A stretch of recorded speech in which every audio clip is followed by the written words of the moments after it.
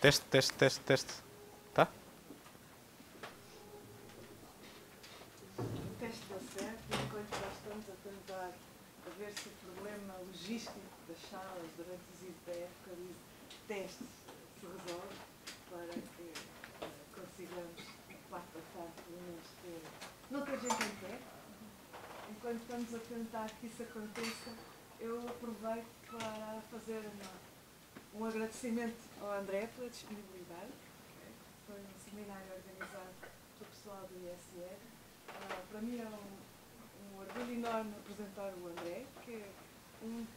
Se calhar o nosso professor convidado do DEC mais recente, talvez. Falta-lhe aqui o logotipo do ISP. o André uh, foi estudante de doutoramento, orientado pelo Mário Figueiredo um, e pelo pessoal da CNU portanto, uh, foi um daqueles estudantes do programa dual uh, que nós temos com Carnegie Mellon. Uh, teve já uma série de prémios ao longo da, da sua curta carreira até agora, do qual destaca o Prémio Científico IBM. E uh, neste momento é Head of Research numa das nossas das spin-offs associadas ao técnico, que é a Unbabel.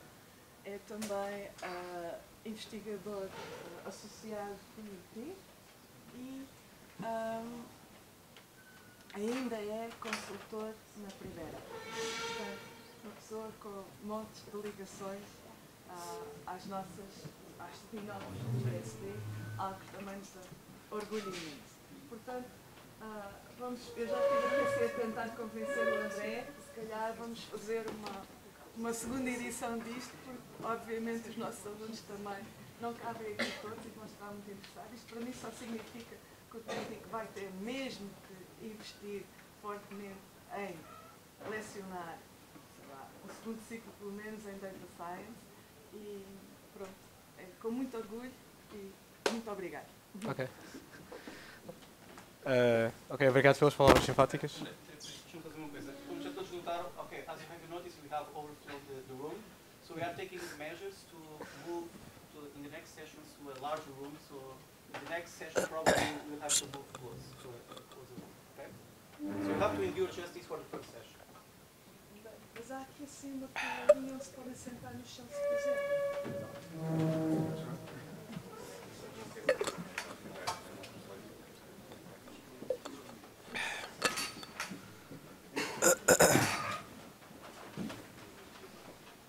Okay, so is there anyone who doesn't speak Portuguese? Okay, so uh, two people. So I'm going to, to give this tutorial in English. Uh, can, can you hear me well? Okay. So uh, I, I just got a cold this week. My voice is not uh, very good. I hope it lasts for the entire five hours. Uh, but I'll give my best try. So, so the, the goal uh, here is to give a, a, tutorial on, the, on deep learning without going you know too deep uh, on uh, the more intricate aspects, but just give kind of the big picture uh, and try to cover some some breadth. So before starting, I just want to throw two shameless plugs. So I'm going to, to be teaching a new PhD level course uh, for for the next uh, for next year.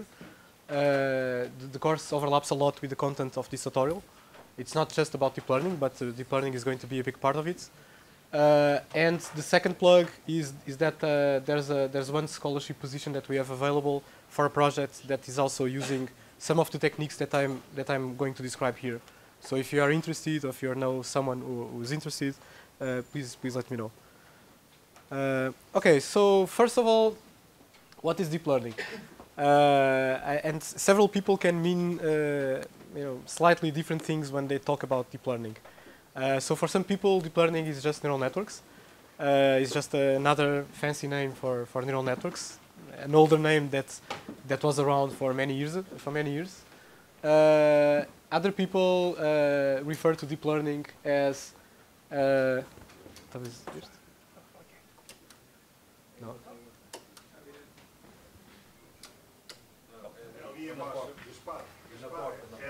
Ah, okay. Okay, so for some other people, deep learning is not just uh, neural networks, but neural networks with many hidden layers.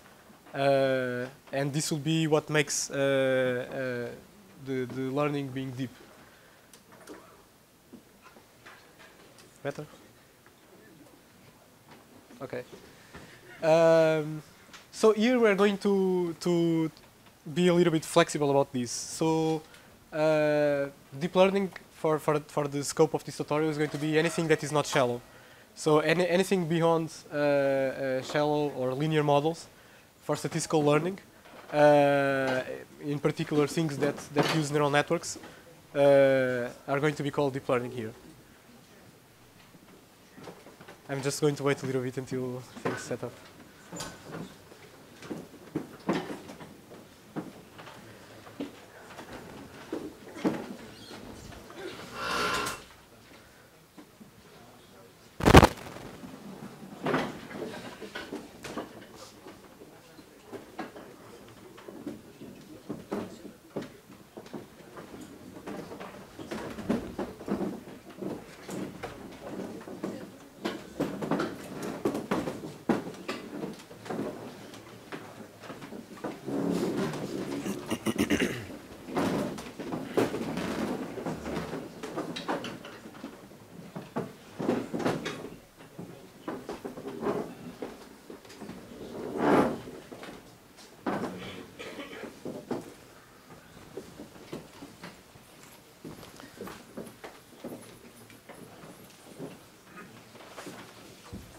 Okay, so uh, so in particular, a very important aspect uh, of of these uh, deep learning models is their ability to learn representations.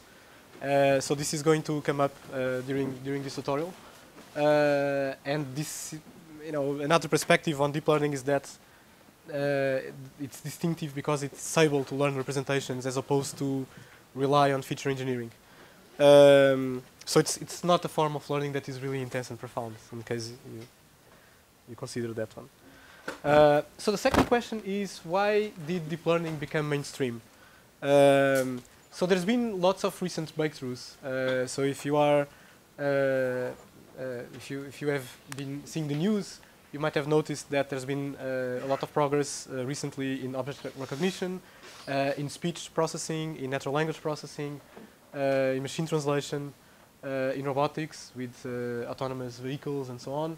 Uh, there's been some some uh, uh, interesting news. So, for example, this year, much earlier than expected, there was a machine that was able to beat a human grandmaster in Go.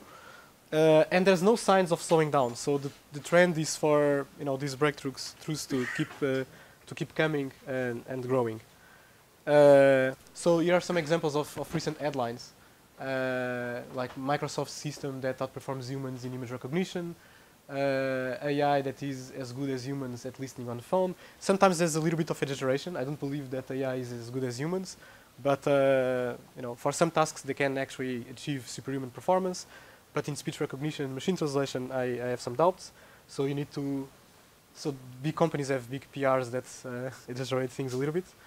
Um, so there's there's a very recent uh, article featured uh, in the New York Times uh, last week called The Great AI Awakening.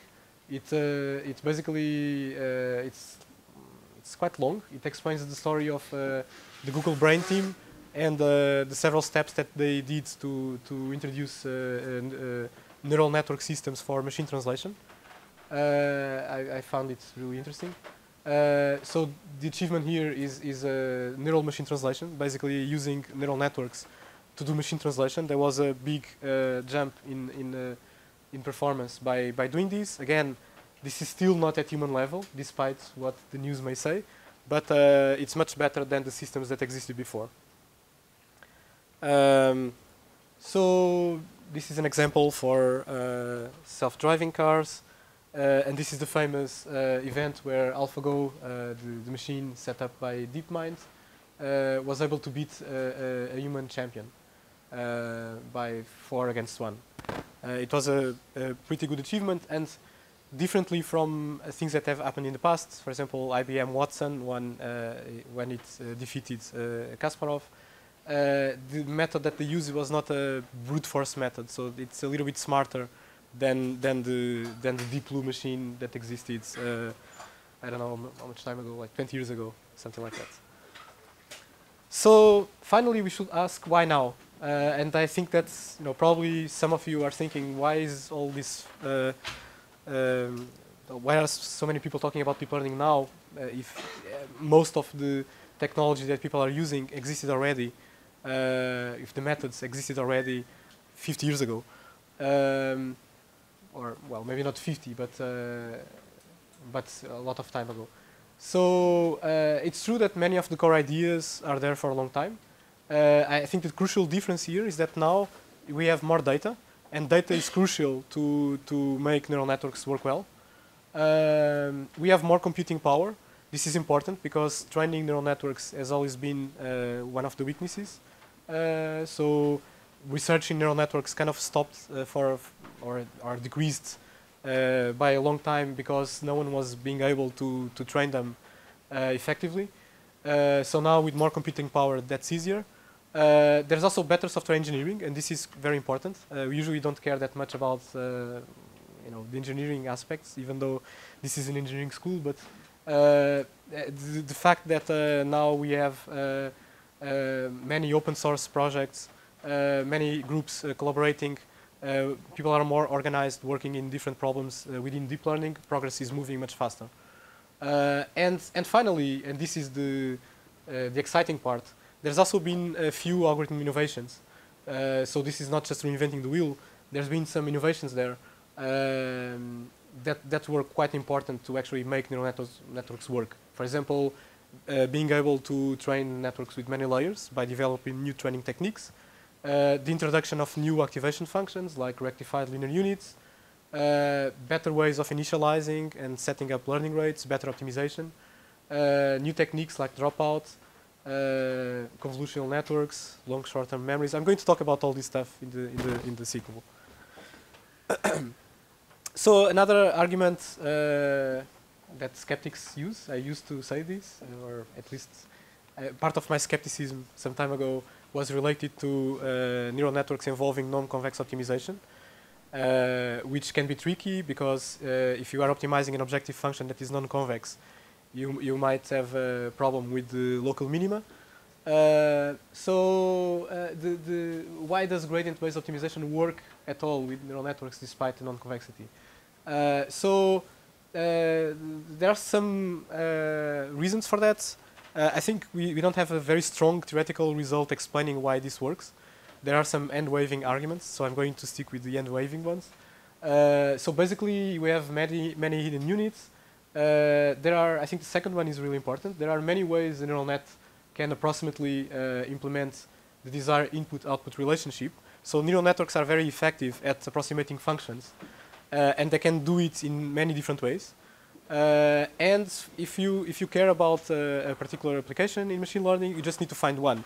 You don't need to find all solutions. You, and uh, it, there is some some end-waving evidence that in neural networks a lot of the local minima are good minima, meaning that even though you don't get the global minima, the local minima are still good for the task that you that you are trying to solve. Again, this is end waving, but I think something that is lacking in in uh, neural networks and deep learning is to have more people uh, working on the theoretical side, trying to explain how things work. Um, th this will be really really exciting. So uh, here's a kind of the big picture uh, this, so this comes from a presentation by Marc'Aurelio Ranzato and probably using previous stuff from Yann LeCun. Uh, so um, this is showing, you know, the, the big panor panorama where you have supervised methods uh, and so methods for supervised learning, for unsupervised learning, shallow methods and deep methods. I, I'm not sure if I fully agree with the position of all the points here, uh, but on the shallow uh, and the supervised side, we have things like support vector machines, uh, boosting the perceptron. Uh, if you move to the to the deep part, but still supervised, we get uh, neural networks and several uh, types of neural networks. Uh, and uh, if you move to the to the bottom part, and this is the, the you know this is where most of the unsolved problems lie right now. we have things like restricted Boltzmann machines, um, autoencoders, deep belief networks, and so on. So, uh, and uh, along this tutorial, we are going to uh, kind of concentrate in, in, in, this circle. If you, if you look carefully to these points, this kind of forms a circle here. Uh, so we're going to cover, to start with the shallow learning, then move to uh, uh, uh, deep supervised methods, then uh, and then we'll talk just a little bit on the end on this part. Th- This part we are not going to talk a lot. Uh, okay, so another thing to mention, if you are really uh, interested in learning more about this subject, uh, there's a book that just came out. Uh, the, uh, so it's it's it's been written by uh, Ian Goodfellow, Yoshua Bengio, and Aaron Courville. Uh, the chapters are publicly available, so at least for now. So we can go to this site and and and see the chapters. Uh, and uh, I so I didn't read the entire book, but from what I've seen so far, I I think it's well written. So it's a it's a good place to to find more detailed information about some of the stuff that I'm going to describe here. Okay, so uh, here's an outline of the talk. Uh, so I don't know if I'll be able to cover everything, but uh, the tentative plan, at least, is to uh, cover the first four sections in the morning, starting with linear classifiers, then neural networks, then auto-train, then a little bit about representation learning, and then cover the last four uh, in the afternoon. So let's see how it goes. Um, so let's start with linear classifiers. Uh, and uh, the roadmap for this part is I'm going to start just introducing some, some notation, uh, describe what are classification problems, regression problems, and so on. Uh, talk a little bit about feature representations, uh, then uh, a little bit about linear classifiers, and then to give a motivating example and to start to open the, the pave the way for, for, for deep learning. I'm going to, to talk about the, the, a very simple algorithm, the perceptron, uh, and uh, and talk about the one of the guarantees of perceptron, which is the mistake bound, but also some of the limitations of perceptron. Uh, okay, so let's uh, set up some notation here. Uh, so I'm going to talk about supervised learning problems, uh, where we there is some input x uh, that lives in some space uh, calligraphic x. We can regard this input, for example, uh, as a news article, as an image, uh, whatever data we are trying to, to, to classify. So in this example, it's a document. It's, the, it's, the, it's a news article describing the, the AlphaGo achievements. Uh, and we assume that there is some output y that lives in another set y, a set of uh, labels. That could be, for example, is this news article uh, true or fake? Now people are talking a lot about fake news and techniques to detect fake news, so this will be an interesting application. Um, another possible output could be the topic for the document. Is it about sports, about politics, technology, and so on? In the case of images, uh, the output could just be an, im- an image segmentation uh, that detects ob- objects uh, in the image. So in any case, the goal uh, is to learn a classifier, which is just a function uh, denoted by phi here, that maps from the input space to the output space. So this is what we want to do. Uh, and we want to learn this function from a set of examples. This is our training data. So our training data consists of pairs, where we have, for example, documents and topics. We have several of them. The many we have, the better. The more we have, the better. Uh, and uh, we want to use these examples to fit uh, a, a classifier that is able to generalize well for uh, data points that was that were never seen. Uh, to the point that if I now provide a new news article about some other topic, uh, the, this function still is able to predict as accurately as possible the topic of that news article. Uh, so there are many different frameworks that fit, uh, or many different problems that fit this framework. Uh, in regression, the output space uh, is, is it can be a real line if you are just uh, regressing on one variable. If we are doing it with several variables, it's called multivariate regression. Then it's the Euclidean space. Here in the tutorial, we're going to talk more about classification problems, where instead of predicting a continuous variable, we are predicting a discrete one, in particular a finite one. Uh, so in binary classification, we just have two labels. So this could be, for example, for the problem of detecting if a news article is fake or not, this could be the two classes, fake, not fake. Um, for, for topic detection, uh, we can have more than two topics, so it makes sense to talk about multi-class classification, where the output space uh, can have more than two labels, so one, 2k. Uh, there's also another class of problems that I'm, mentioning here, but we are not, well, we're going to, to talk about some of them in the afternoon, uh, called structured classification, where uh, the, the distinctive aspect here is that uh, the, the outputs that we're trying to predict are highly structured and, uh, and uh, the, the output space is, is very large. So for example, if you have a sequence uh, as input and you want to predict a label for each element of that sequence, typically uh, there is a lot of correlation between labels uh, for elements of the sequence that are next to each other. So there is a lot of structure, and this uh, and also the number of possible sequence labelings grows exponentially fast with the length of the sequence.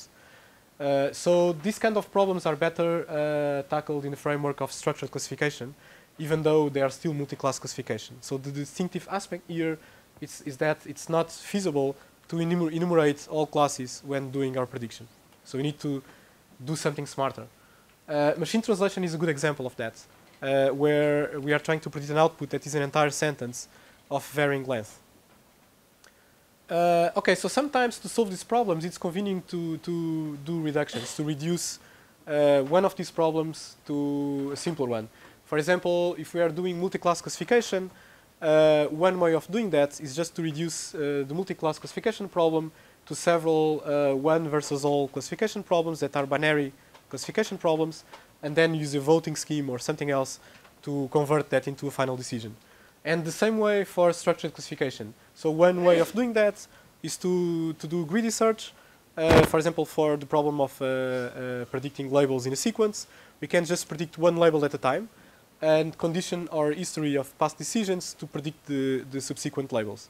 These methods are not perfect, they can propagate errors and so on, but it's just a simple way of reducing uh, uh, a more complicated problem like structural classification to a simpler one.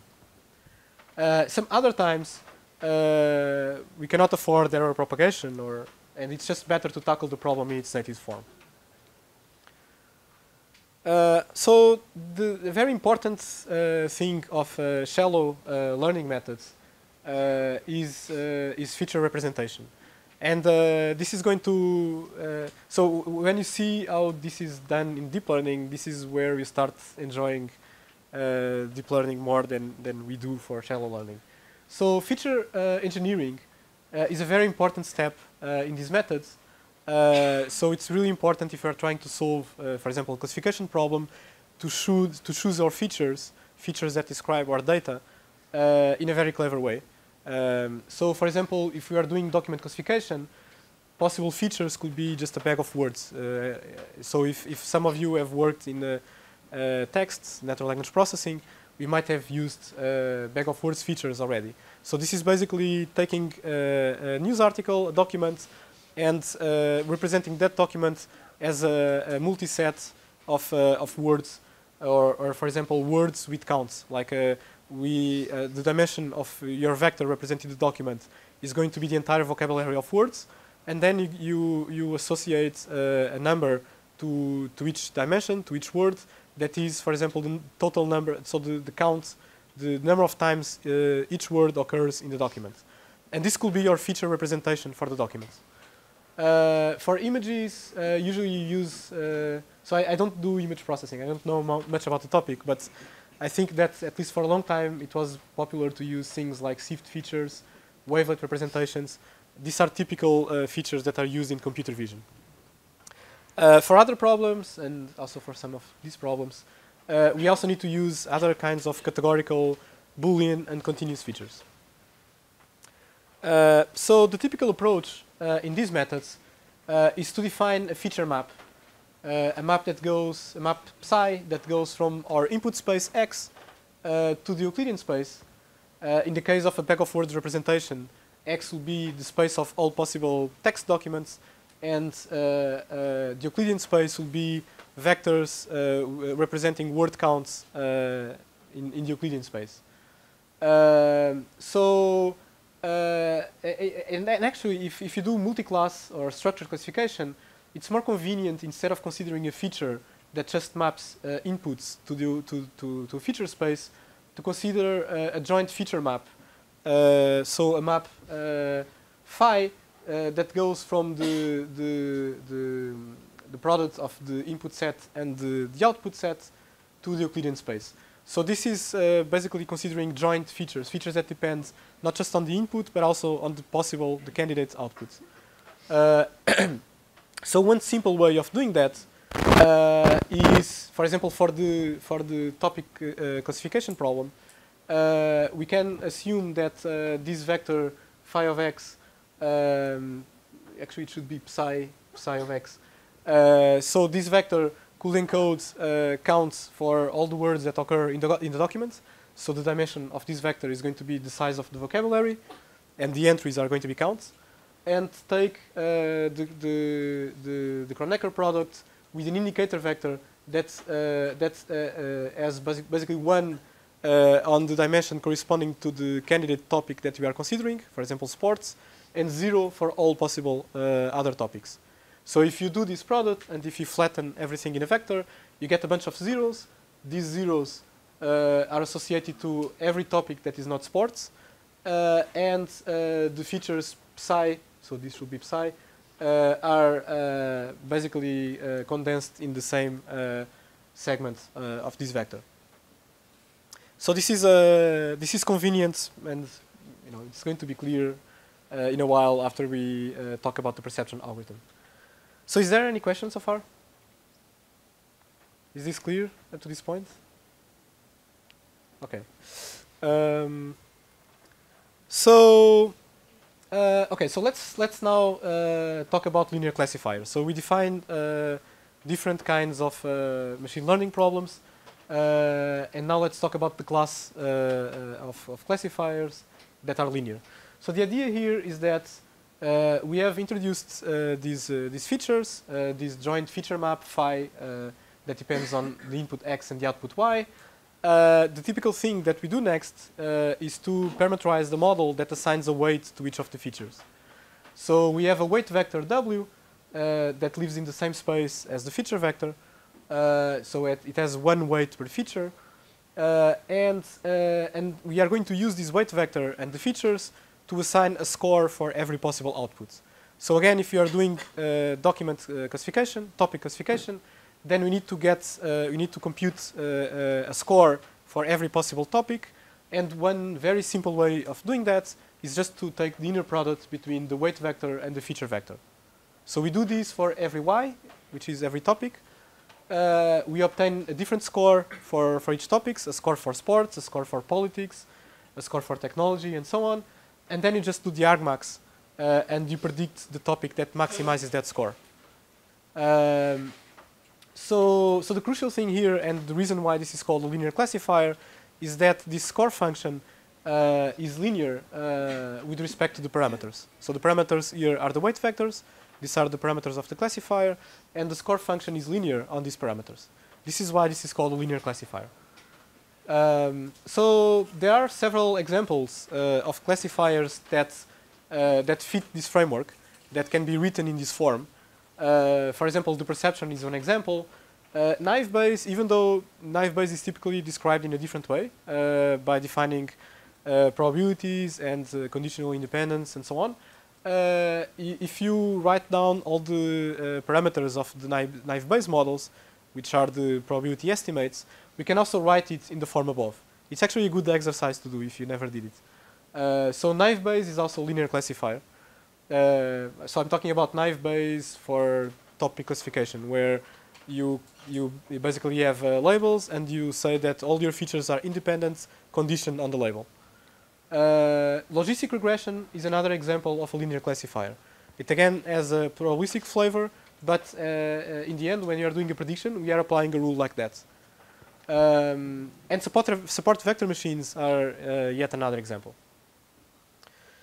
Uh, so graphically, uh, if we if we represent graphically what a linear classifier is doing, we end up with something like this. So for binary classification, um, a linear classifier is just an hyperplane separating two classes of points. So we can regard these blue dots and the red dots as our, our training sets, where the blue ones are negative examples and the red ones are positive.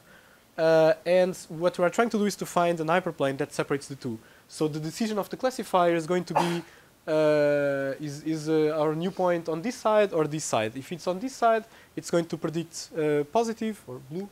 I forgot which is positive and which is negative. If it is on this side, you predict red. Uh, so if you go to more than two classes, uh, we get something similar. Uh, in, this case, it's going to be an intersection of hyperplanes. And you know, to understand why this is going to be the intersection of hyperplanes, if you look at the formula for the argmax, this is going to this is a, a piecewise uh, um, linear function, uh, and it's it's uh, it's going to be for if you do this for every y, we are going to get uh, the intersection of um, of so you are trying to maximize um, things that are described by different hyperplanes, and so the boundaries uh, that define our decisions are going to, to be to lie on the intersection of these several uh, hyperplanes. So in this case, we have three hyperplanes because there are three classes. They all intersect in this point, and these lines are uh, intersections, like pairwise intersections between two topics. So in the end, this is this is still what we get. Um, so I, I forgot to mention, but if you have any questions or anything, feel free to interrupt with questions. Okay, so uh, so now let's talk about uh, the perceptron, uh, which is a very old uh, learning algorithm. Um,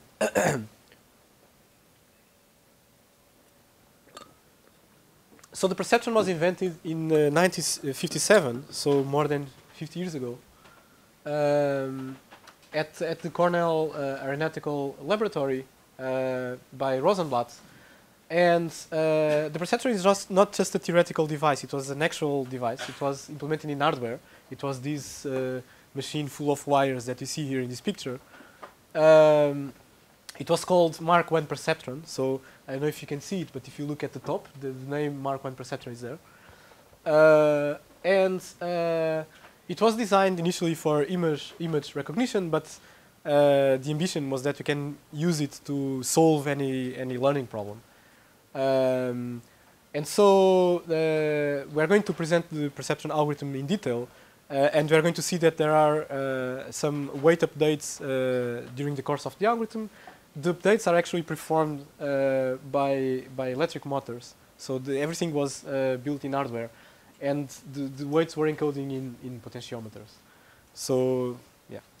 Uh, so when when uh, the perceptron was invented, there was a lot of excitement in the news. Uh, pretty much the same way as you see it these days with deep learning. Um, so the title of this New York Times piece was "New Navy Device Learns by Doing," because this was a project uh, sponsored by the U.S. Navy, uh, and we could see some very bold claims there. For example, Dr. Uh, Rosenblatt, which was the inventor, uh, uh, said perceptrons might be fired to the planets as mechanical space explorers, uh, or later perceptrons will be able to recognize people and call out their names and instantly translate speech in one language to speech or writing in another language.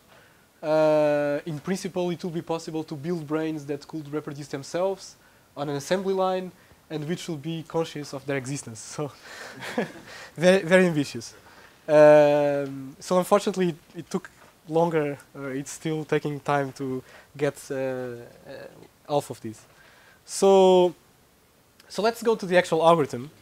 Uh, it's a it's a it's a very simple algorithm. Uh, so it's it's nice because it's it's simple. Uh, and the way it works is as follows. So the input is uh, is our training set. So a set of labeled data, pairs xi, yi. Um, we, we start by uh, uh, so the goal is to is to obtain the weights of our model, the parameters of our model. Okay, the w vector. Uh, and the way this is uh, this is working is we first initialize the weight vector to all zeros. Uh, we we keep a counter of the number of mistakes that we that we that we initialize to zero, uh, and then we have a loop uh, that we repeat uh, until we exceed the maximum number of epochs or until no more mistakes are are being done. Where at each point we sample a new training example, so a new pair xi yi uh, we use the current model WK uh, to make a prediction for this example xi. So this is going to be the prediction yi at. This is the prediction uh, coming from the current configuration uh, of, of uh, the current model.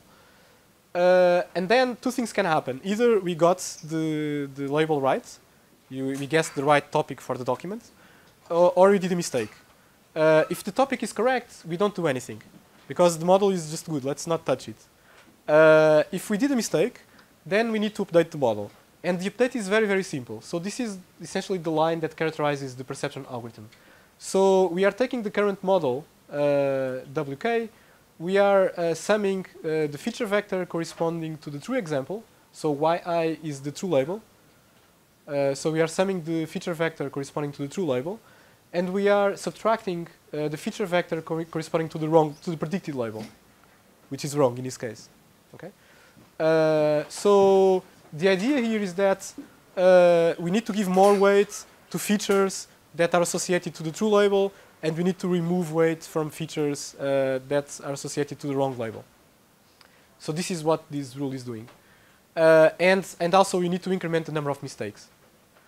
Um, and we keep going until we are tired or until perceptron starts updating because uh, we, it doesn't do any mistakes uh, at some point. Uh, so at, at, first glance, this looks a little bit like a hack. Like the first time I saw this, I saw, okay, this kind of makes uh, sense. It's very intuitive, but I don't believe that this has any interesting guarantees. Uh, this just looks like a you know very smart way of uh, okay, let's put more weight in some places, remove weight from others. But yeah, I was not expecting anything theoretical interesting. Uh, but it turns out that we can prove uh, a very interesting result uh, with this simple algorithm. Uh, so to prove that, I need to introduce a couple of definitions.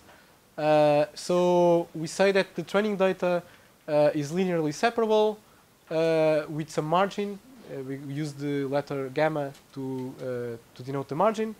if and only if there is some weight vector u that has unit norm such that the score, like for any for any point in the training data, any i, uh, the score of the true label, so the true topic for that document, exceeds the score of any other topic uh, by at least uh, the quantity gamma, which is the margin.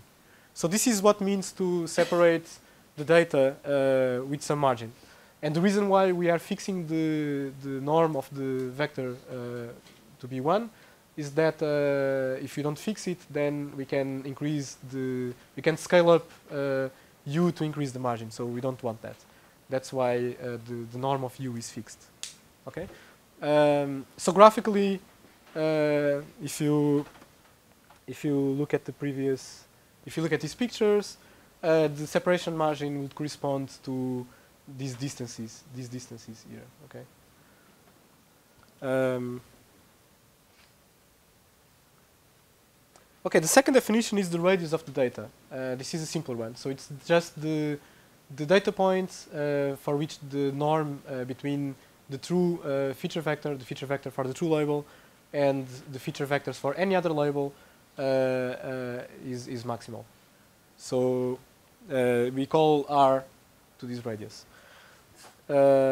so then, given these definitions, we have this bound on the number of mistakes. Uh, so this, this was established in 62 by Novikoff. Uh, so the theorem says that the perceptron algorithm is guaranteed to find the separating hyperplane uh, after at most uh, this number of mistakes. So this is the square of the radius divided by the square of the margin. So again, this kind of makes sense. Like if you if the margin is small, uh, the data is it's harder to separate because the distance between so this distance is going to be smaller. So the perceptron does more mistakes until it gets a separating hyperplane. If the margin is large, then the number of mistakes uh, is going down, and a similar rationale can be applied to the radius of the data. So, um, so the, the, the, the, another interesting thing, and interesting enough so that I show here, this is the only proof that I'm going to show in this tutorial, uh, is that we can prove this in one slide.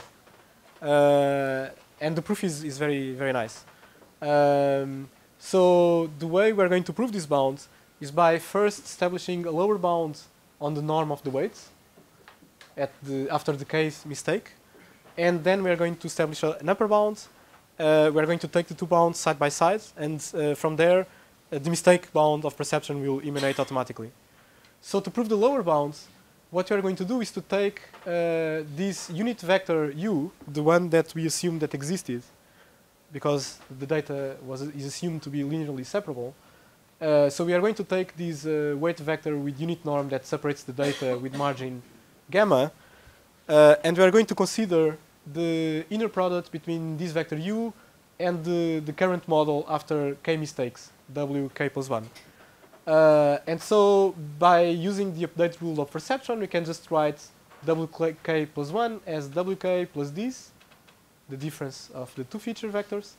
Uh, then uh, by the definition of the, uh, of the margin, we know that uh, this part uh, is larger than or equal to, to delta. Actually, we called it gamma before. So this is the separation margin. Um, so, and then if we apply this uh, inequality uh, k times, where k is the number of mistakes, then we get uh, this result. This inner product is uh, lower bounded by k times the separation margin. And now to convert this into a, a bound on the norm, uh, we just use the Cauchy-Schwarz inequality. So we can write uh, the norm of w as a product of these two norms because u, by assumption, as a unit norm. Um, so, uh, and using Cauchy-Schwarz inequality, this has to be larger than this inner product, and we have the bound for the inner product, so we can immediately plug here. So we get that the norm uh, of the weight vector is uh, lower bounded by k times uh, the separation margin. So it's very simple to prove this part. The second part is even simpler. Uh, so let's now establish an upper bound on the norm. Uh, we just take the definition of wk plus 1 using the perceptron, uh, the, the, update rule for perceptron. So wk plus 1 is wk plus difference in features, uh, or yeah, so uh, minus the difference in features. So um, so we can we can just uh, uh, take the square of that, expand uh, the square of the norm, and we get an expression like this. Then we know that since the perceptron predicted y hi hat, and the, the, the way the perceptron uh, makes, makes predictions is by doing the argmax. So this is basically this part of the algorithm. So y hat is the score that uh, is the, the label that maximizes this score. Uh, so since we know that, then we know that this part has to be uh, negative. Uh, posit uh, I think there might be a, a, sign which is wrong here. So this is larger than that. Yeah, I think uh, this should be minus here, because the update rule is this. Um, yeah, well, something is fishy here, but uh, basically uh, the the conclusion here is that this part is uh, upper bounded by the radius of the data. Um, because so sorry this this part is uh, less than no it's correct. So this part is less than zero because this feature vector uh, so the score uh, for the prediction uh, y i at needs to be larger than the score of the true label right? Um, and this means that this term is negative or non non-positive and from there and bounding this term by the radius of the data we get this and now applying this k times you get this upper bound this uh, yeah this upper bound. So the, the the square of the norm is bounded by k times the square of the radius of the data. And now we just equate uh, the two sides. We just put the two bounds side by side. We get this inequality, and from that, we and solving with respect to k, we get the the perceptron mistake bound. So it's very simple to establish. Um, so uh, this is nice. So uh, I've said nice things about perceptron. Uh, if the data is separable, it manages to separate the data. But this raises the question about when is the data separ separable, linearly separable. Uh, so the perceptron can solve uh, linearly separable problems. Uh, so I'm not I'm not talking about overfitting here. So I'm assuming that finding a separating hyperplane is is enough. I'm not talking about the generalization error for now. Um, so we have seen that the perceptron can solve linear, linearly separable problems. So for example, if you have two inputs and, uh, and, we are and the, our target function is a logic function of these two inputs, It can solve the OR of the two inputs, the AND of the two inputs, where one is negated and the other way around. It finds the separating hyperplane that separates these points. But uh, if we if we uh, have a different function like an XOR, and we use the the standard uh, input representation, uh, we get to a point where these two classes, uh, this data set is not separable. So there is no hyperplane that can separate the circles from the triangles. So perceptron cannot solve this.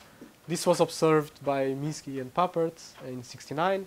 And uh, after that observation, there was very strong criticisms of perceptron. Suddenly, people didn't believe that we could put uh, uh, uh, spaceships send, and, and kind of have an assembly line of brains because it could not even solve the XOR problem. Of course, if we transform the input to a better representation, so for example, if instead of using x1 and x2 directly, we use a transformation of the two, uh, then we can get then we can get uh, linear separability again. But this required an important step. So we needed some engineer needed to jump in and say, oh, we cannot do this this way. Let's transform the input. Let's do feature engineering, and then you got linear separability. Um, okay, so is there any question at this point? Is this very obvious to everyone? Did you know already about this, or is this new? Okay, so how, many? Just to get an idea, how many of you have seen the perceptron algorithm already? Ah, okay. So maybe I'm losing time in this in this part. Um, okay, good. So uh, so perceptron is very simple. Uh, there are more uh, uh interesting, uh, from a statistical perspective, more interesting uh, linear classifiers with better guarantees.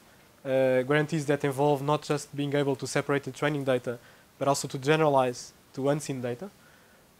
so an example is logistic regression.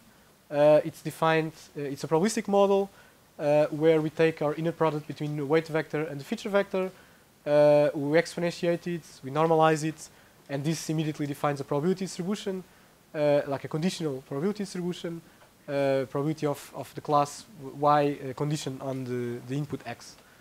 Uh, and then to train a model like this, we just maximize the conditional uh, log likelihood of the training data with some regularization.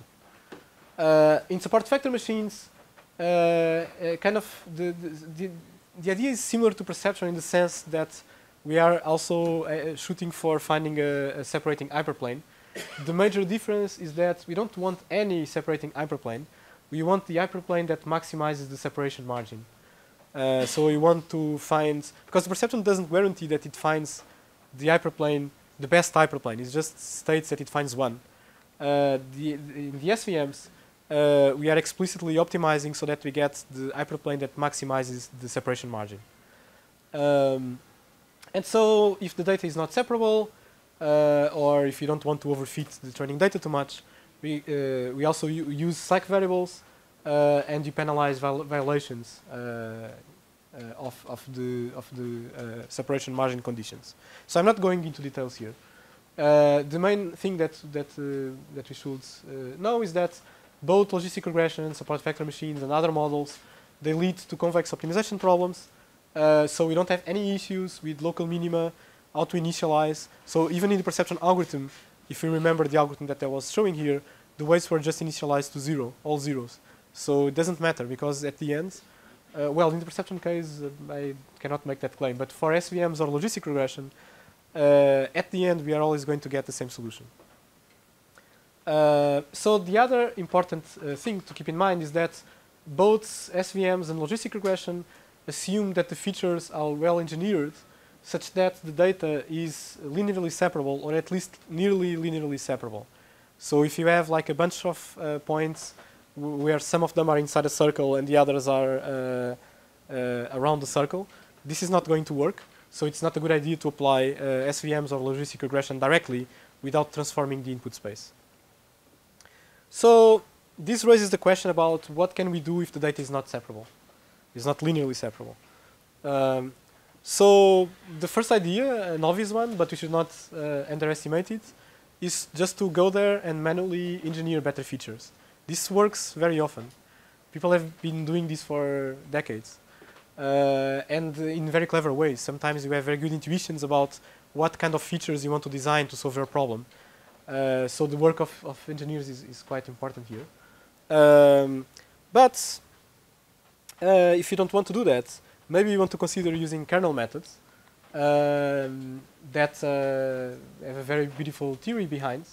Uh, the idea is that they, they are going to work implicitly in a high-dimensional feature space uh, without the need of caring directly about. The so you don't need to do computations on this high-dimensional feature space. You just use the kernel function to do all the operations that are needed uh, to learn to learn your model. Uh, but uh, it doesn't completely solve the problem because you still need to choose a good kernel. Uh, you can do it by trying several, tuning some hyperparameters and so on. Um, but but you need to do it. So this is kind of a replacement for feature engineering. Uh, also, the other limitation is that the capacity of the model is confined to kernels that are positive definite. Uh, so this is still uh, a linear classifier uh, where we can work with a large feature space, but we, it's still not as general as a neural network as we are going to see after, after this. Uh, so the difference between these two is that in one case we are working in, in a primal space, in case of kernel methods you are working in a dual space, but the issue is still there.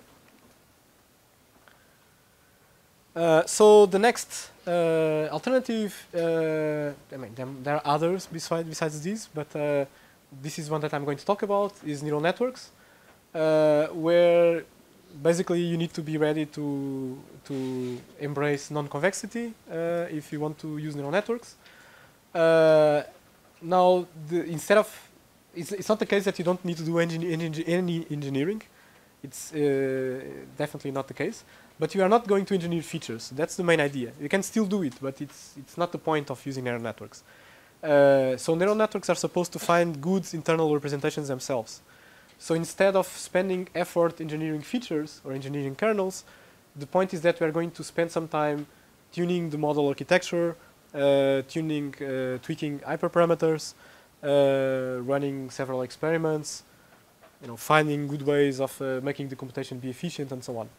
So there's still job for for for engineers. Um, okay, so I'm going to move on to the second part. So, what time is the break? Just to get an idea. So, now it's 10:30.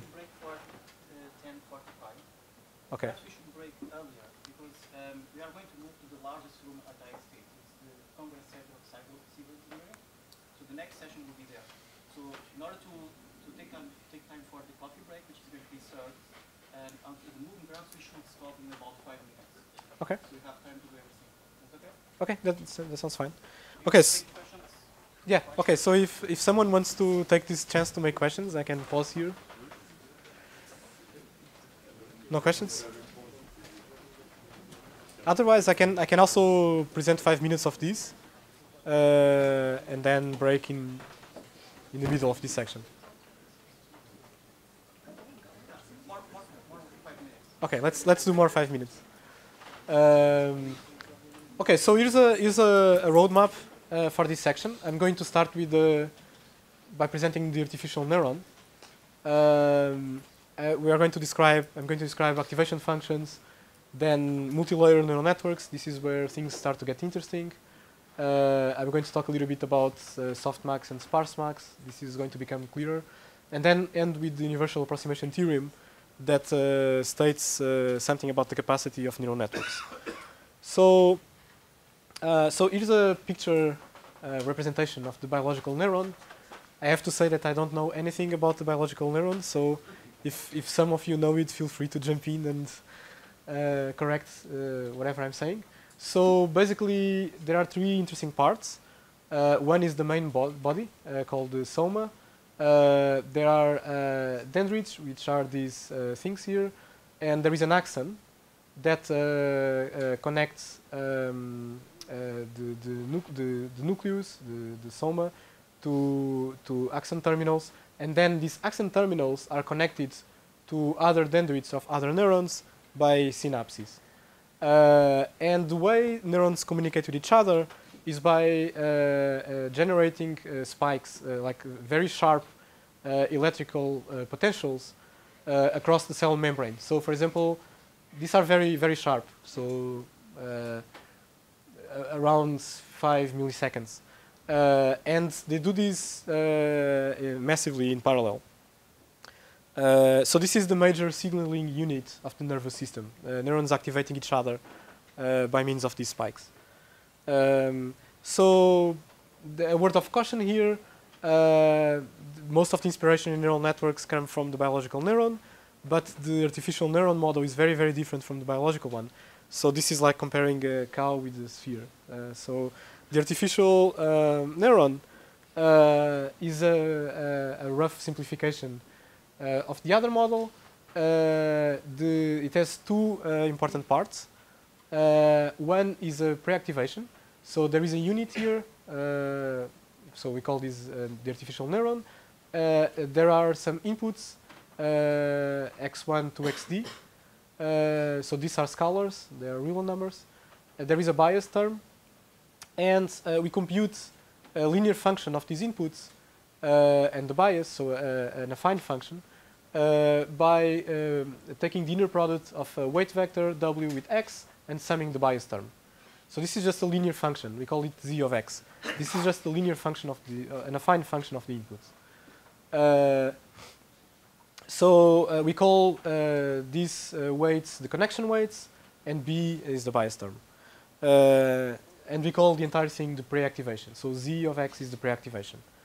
Uh, then the, the interesting part comes after that. Uh, there is an activation. There is a, a function g, uh, typically nonlinear, uh, that comes after this linear um, this linear part, uh, and the output of the neuron is going to be this h of x, which is the composition of this activation g with the output z of x.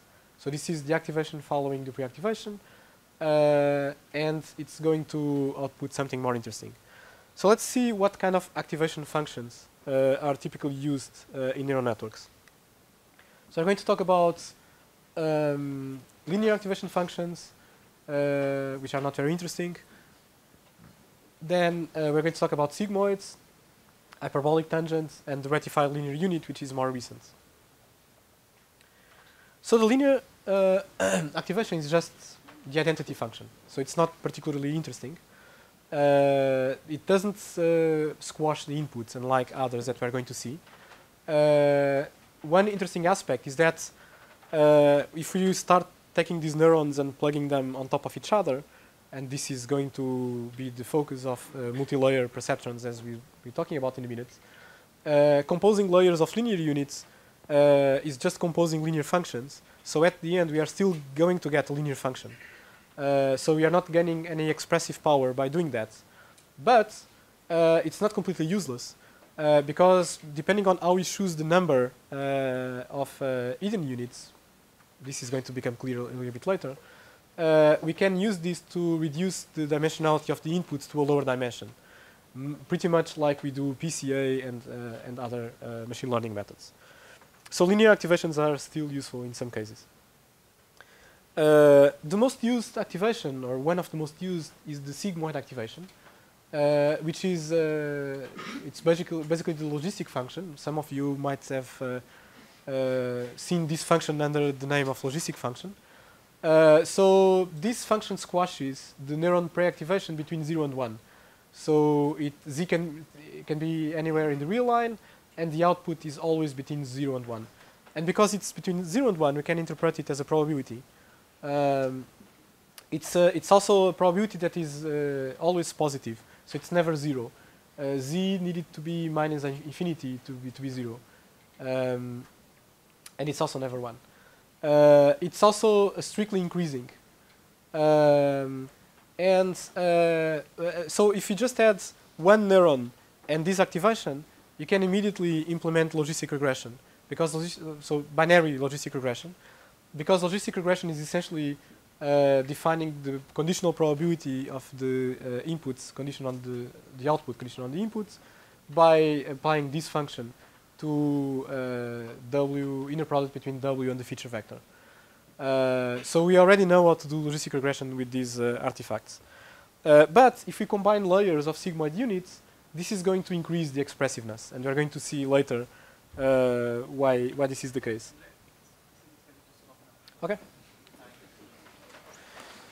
So uh, there will be a coffee break right here around the corner, and uh, we are going to move and we start the session at 11 o'clock in the Congress Center of Civil Engineering Building. You mean the big, uh, The big one, the larger one.